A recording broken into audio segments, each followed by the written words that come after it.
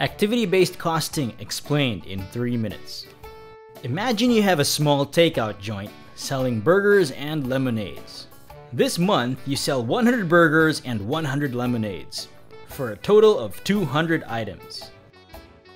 What if, at the end of the month, you have an electric power bill of $200? How will you divide the electric bill between the burgers and the lemonades? Easy! $200 divided by 200 items equals $1 in electric power for each burger or lemonade sold. But what if you use 3 kilowatt hours of electric power to make one burger, but only 1 kilowatt hour of electric power to make a glass of lemonade? Is it still fair to write down $1 of electric power for one burger and $1 of electric power for one lemonade? We should write down a bigger electric power cost for the burger, right? This is where activity-based costing is different from traditional costing.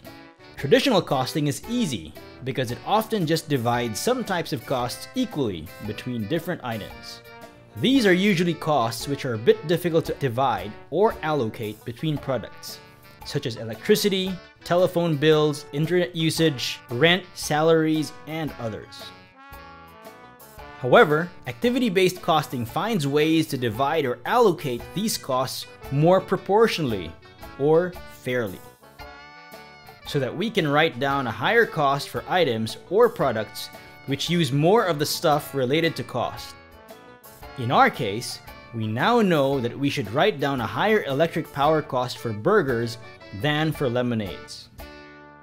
As a result, this might cause us to sell our burgers at a higher price than the lemonades, and the lemonades at a lower price than the burgers. Of course, electric power is not the only cost in making burgers and lemonades. Therefore, we have to think about other costs as well before making our final pricing decisions. See? The basic concept of activity-based costing isn't so difficult, is it? Would you like to learn how to easily calculate product cost using activity-based costing? Check out my free video at mbabullshit.com. See you there!